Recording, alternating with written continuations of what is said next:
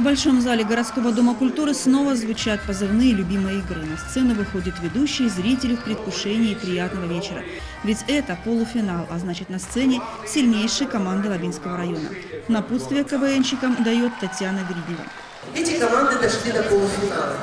Хочется им пожелать, чтобы никогда не расставались с КВНом, чтобы никогда с их души не уходил юмор, чтобы на все не могли смотреть нормальным узором.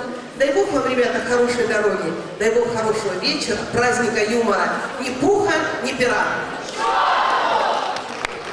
И вот те четыре команды, которые сражаются за кубок сезона 2017 года. Школяры из девятой школы, Зева из школы номер два, команда из седьмой школы «Семерочка» и Ха-Ха Хогвартс, Лабинский социально-технический техник. Каждая из них представила на суд жюри приветствие и одну песню.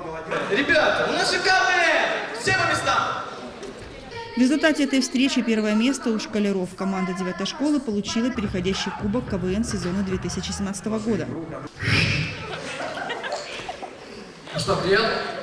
Конечно, клюет. На прошлой неделе вот такого леща поймал.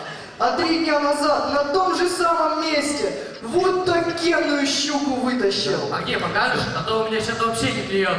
Да вот, смотри, тут приложение, удочку закидываешь, вытаскиваешь, все просто. Второе место заняла команда «Семерочка», третье место разделили Зева и Ха-Ха Хогвартс.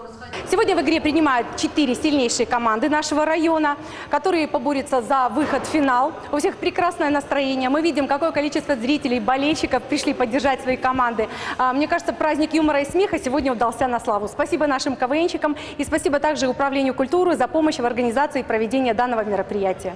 Людмила Никонова, Игорь Исаков, телекомпания «Лаба».